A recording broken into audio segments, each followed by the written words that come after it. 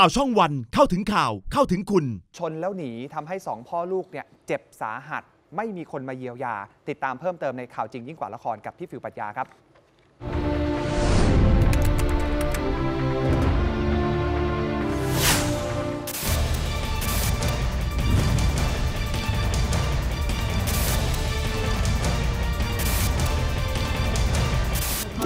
โอ้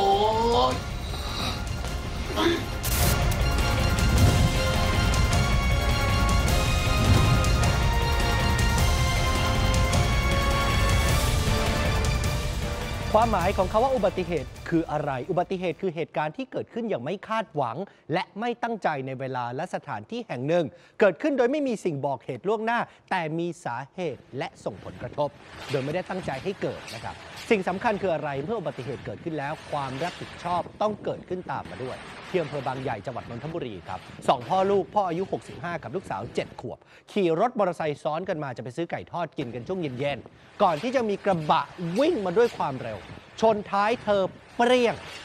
พ่อลูกสลบครับ ตื่นมาอีกทีที่โรงพยาบาล พร้อมกับชะตาชีวิตที่เปลี่ยนไปตลอดการ คนชนก็หนีหลบหายไปครับ อาการของผู้เป็นพ่อนะครับกระดูกก้นกบแตก กระดูกหลังร้าว นอนยาวบนเตียง ในขณะที่ลูกสาววัยเจ็ดขวบกระโหลกร้าว เลือดออกซึมมาที่หู และอาเจียนเป็นเลือดช่วยเหลือตัวเองไม่ได้ ต้องรอดูอาการ 6 เดือนเต็มๆครับพอออกไปสักระยะหนึ่งก็ไม่รู้ว่าถูกรถอะไรชนนะฮะชนเขานี่คือชนเขาหลัชงนแล้วก็หนีไปฮะ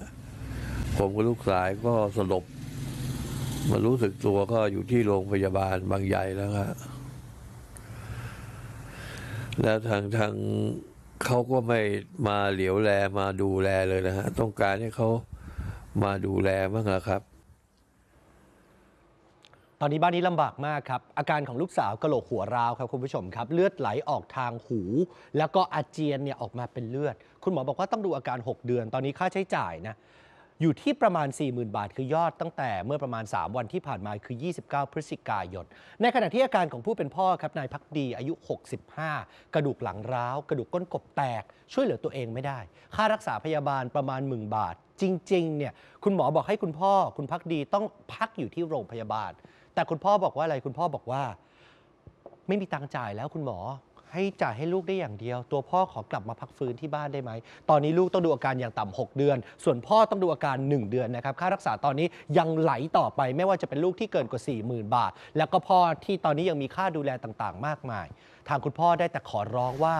ค่ารักษาพยาบาลสูงลิ่วเลย ยังไม่รู้จะหาเงินจากไหนมาจ่าย ทั้งๆที่เหตุที่เกิดขึ้นเนี่ยไม่ใช่เรื่องของบ้านเขาเลย แต่บ้านเขาต้องมารับกรรมจากความไม่รับผิดชอบของคนครับ คนที่เขาชนเราเนี่ย ให้เขากลับมาช่วยดูแลบ้างนะครับ เกี่ยวกับการกระทำของเขาอะฮะเพราะว่าเขาทำอะไรเขาชนแล้วเขาไม่ได้ชนเราแล้วยังขับหนีไปไปชนคันอื่นอีกฮะไม่คิดที่จะลงมาช่วยเหลือเลยนะครับ อุบัติเหตุเนี่ยมันเป็นสิ่งที่เกิดขึ้นได้ครับ แต่สิ่งสำคัญคืออะไร คือการรับผิดชอบต่อความเสียหายที่เกิดขึ้นชีวิตของคน ของครอบครัว ของบุคคลผู้ป่วยที่ได้รับผลกระทบ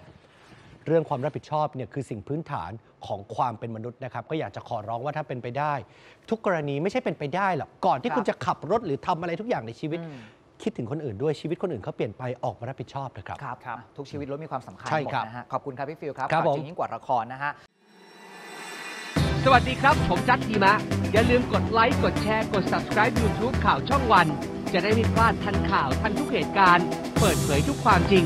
จากทีมข่าวช่องวัน เข้าถึงข่าว เข้าถึงคุณ